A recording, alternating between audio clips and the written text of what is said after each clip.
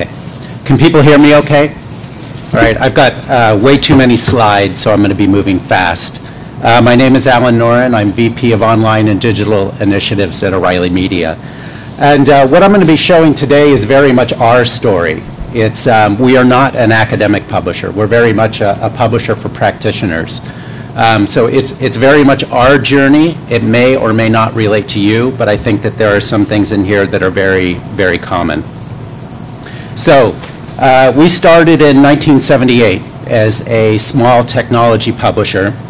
And uh, early on, uh, Tim O'Reilly made this statement, this was in the early 90s, and he said, if we're still a publishing company in five years, we're going to be out of business. And while I think that only a publishing company, and while I think he would have been wrong in, in some ways, he was right in many others. So we intentionally diversified at that time. And so we, we created a, a, a conference business, which Brian Irwin, sitting next to me, was, uh, uh, he started the first one and was instrumental in doing that.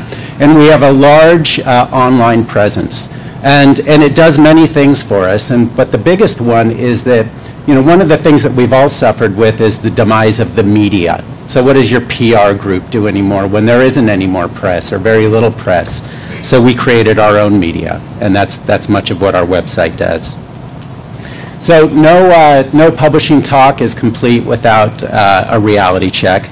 And again, this, this is our reality. Uh, Our print book buying audience is aging. Uh, As one New York publisher told me last year, uh, they said that, you know, we are all chasing, and this was a a general trade publisher, we are all chasing the the 55-year-old female demographic, and someday they're all going to die. Um, Amazon, in Amazon's wake, we all know the, the retail um, landscape has been decimated. And Google has taught the world that everything should be available for free. Uh, these are, this is a um, result of a survey that we did recently of our print book buying audience. So this is an older audience. And you can see that you, you may not be able to read that, but the important uh, bit is the, the bar graph over on the left, where we asked, how do you, where do you go when you have a, a technical question? And of course, everybody is online, as opposed to turning around and um, opening up the book that you may have on your bookshelf. So this was something, that this really struck me. You may have seen this, Mary Meeker, the, the um, uh, uh, what is she? She's a, she's a brilliant lady that does these really incredible slide presentations on, on the internet every year. So this one, uh, this came out last week. This is a survey of learning professionals. Now, I don't know what learning professionals actually comprises, but probably a lot of people who we all sell to. And the question was, um, what are the top learning tools? Now, who would have thought that, you know, a couple years ago that Twitter and YouTube would be the top learning tool? And what does that say about, you know, our businesses and the relevancy of what we're offering? Um, this is the work and reading and learning environment for, for the average, you know, the typical O'Reilly customer. And uh, this is actually an O'Reilly customer. I took a picture of their workspace. And maybe you can see where the books are, the print books.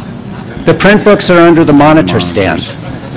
Now this, now this person is also buying electronic stuff from us, so we, we've still got them, but that is yet, you know, again, another indication.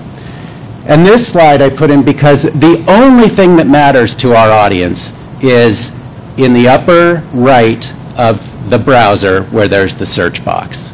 That's the only thing that matters. And when, when I'm in conversations with people at O'Reilly about a new product, about a new thing that we're doing, that's the only thing that matters, because that's how they're going to find it or, or access it or interact with it. I I threw in this slide because this is, again, our reality. This is a programming class in um, Estonia. And Estonia is, along with teaching uh, languages to, to kids when they're six years old, they're starting to teach programming languages. And these guys don't even have books underneath their monitor stands, you know, nor do they have a piece of paper.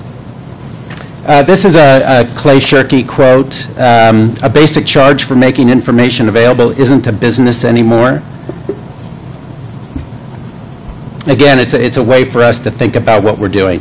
Um, So I'm going to talk about the things that O'Reilly has done. Uh, Two things that didn't work out for us, and then a number of them that did. So a couple years ago, th- this is something that I started. It was a, a- a- we thought it was a brilliant idea, Safari U. It was a remix engine. And I, I bring this one up because uh, remixing content is, it was one of the things that is um, listed in, in the uh, description for this session. So it was a remixing engine where educators and trainers could go into a, a large library of content and create their own products. Um, It didn't work out for us, and I would be happy to answer questions about that during the Q and A. Uh, We've also done a lot of different things, like selling by the chapter. Um, I had to, the- the images on the right to the screen are are broken because the the image is so old, we no longer maintaining it. But um, that didn't work out for us either. So I wanted to talk next about some things that that have. Uh, One was Safari Books Online. Uh, We started Safari in 2000. It was a joint venture between O'Reilly and Pearson. And at the time, it was one of those really unbelievable revolutionary things of two former competitors coming together to create something new.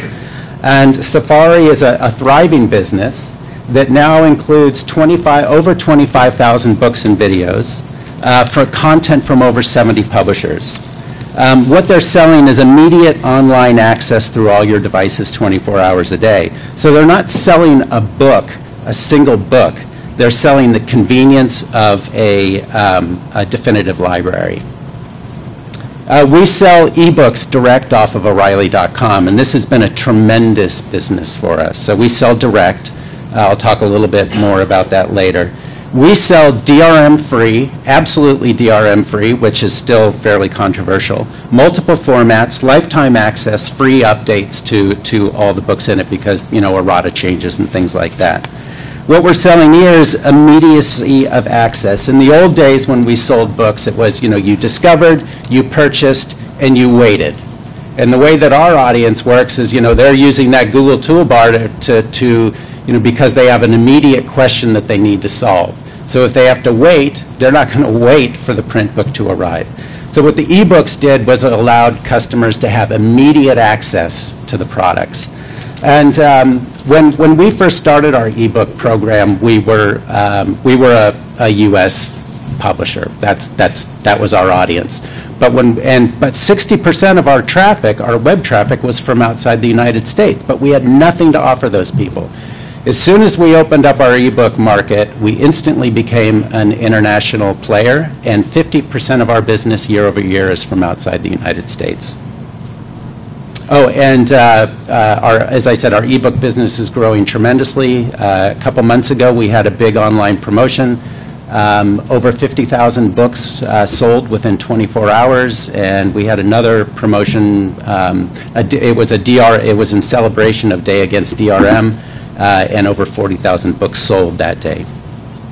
But with our ebooks, we're still largely, you know, just uh, digitizing print. And while there's use in that, um, it's, it's, you know, we need to move beyond it.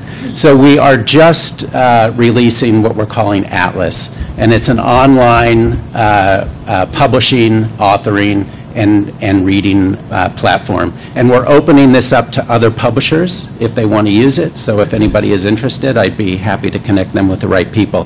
But what it does is it allows uh, the authors to hit publish. It publishes immediately to multiple formats. It bypasses the traditional production process, which even with our streamlined processes could still take months sometimes at O'Reilly because of backlog. So immediately publishes out. It makes the, the, the files available for the print book. And it allows authors to um, include multimedia objects, so they can, there, there's a a coding environment, they can embed videos and interactive objects. It also publishes out to the web. Uh, We also offer video training. So, you know, we know that, that uh, people have different learning modalities. Video training is, is, allows people to follow along in, in the video format. It also does interesting things with the content creators, because to, to write a book still, it takes about a year of somebody's time. And uh, I don't know if, how many of you interact with authors, but most of them are pretty fatigued by the time that book uh, writing process is over. The video process is very, very different. We fly people in or we film them on uh, location, sometimes at our conferences. They're in and out within a day or two, and then we've got that product up for sale within a week. Um, Our conferences, which again, we have uh, Brian to thank for this, uh, this part of our business, um, is a, is another large and growing part of our, um, of our landscape. And um, we, we've branched out into to more and more verticals here. We've also done franchises. So this is Strata, our big data event. It's, a- it's about big data and data science. And um, we're taking it on location. So used to be just in Santa Clara, now it's in New York, London, and Boston. We're also creating franchises. So we, the Boston event is, it's called Strata RX. And Strata RX is about um, uh, the confluence of, of data and healthcare. And we're looking at others from manufacturing, uh, government, and more. And because of that, the, the, the audiences that we're able to bring together at our events, uh, we're creating a, a bigger and bigger ecosystem for sponsors. So rather than a sponsor just, and th- these are sponsors from the last Strata event, so you can see it's a, it's a lot of companies that are coming into this. So rather than just, you know, sponsoring their name on the lanyard or trying to sell them a bigger booth, we're selling them year-round engagement in everything that we're doing in that space. So the releases of the books, we've had sponsors who will uh, sponsor a book, and uh, with some of those, we're making more money in a couple months than we would with, you know, trying to slog it and sell it to individuals one at a time. Uh, They sponsor newsletters that we've created. We've got a a very large and vibrant webcast program. They're sponsoring webcasts. So we're creating more and more products for them to be able to take part in. And it's, it's for us, we're still doing the same thing. We're still doing that vital step of editing and curation that publishers are really, really good at, but we're getting paid for it in different ways. I talked a little bit earlier about our ebook platform. O'Reilly.com is, is the vehicle through which we do that from. Um, It's, it's vitally, vitally important for us. Uh, Because of O'Reilly.com and all that we've built there, we've got hundreds of thousands of direct customers who we can interact with. And we're able to innovate and experiment in ways that we wouldn't be able to if we were waiting for the retail or traditional channels to, um, to, to get up to speed. So, for example, when we started our ebook platform, uh, Amazon was not selling ebooks. You know, Barnes and Noble was not selling ebooks. So we were able to create a new business for ourselves and at the same time bring, um, bring the industry along. And it's become successful enough that we have other publishers who want to sell their content through O'Reilly.com. And some of them are quite large. So again, you know, what we used to be, you know, competitors who you, you know, who would barely talk to us. You know, we've now got Microsoft Press, Wiley, Elsevier, so big publishers along with uh, a lot of smaller ones. So just some, some last words, and these are things that I think of in my day-to-day at O'Reilly, and I, I think that they can resonate with, with some of you. You know, stop defending indefensible business models. You know, we spend so much time defending, you know, the used book market or whatever it may be, and, um, and those energies are not put into the things that, that we need to be experimenting with. Uh, attention, and by attention, I mean attention is a new currency. Those hundreds of thousands of people that we've got their email addresses and who are buying from us, that, you know, you can build a business around attention. You can't if you, if you don't have it. Uh, relevance, you know, the, the, you know, the, so many brands are losing relevance because the things they create are losing relevance. So we all need to think about products that are going to make a difference for the audiences that, that we serve. And then disintermediate ourselves from within. And that's something that, you know, I try to keep in mind in my, again, my day-to-day at O'Reilly because you can bet that there are a bunch of people out there who are doing it, doing it to you, many of them unintentionally. And then the last thing I want to leave you with is um, think like a beginner. And uh, this is a quote from Shunryu Suzuki, he's a, a Zen master. In the beginning, in the beginner's mind, there are many possibilities. In the expert's mind, there are few. So, thinking like a thinking like a beginner can be a very helpful thing. So, thank you.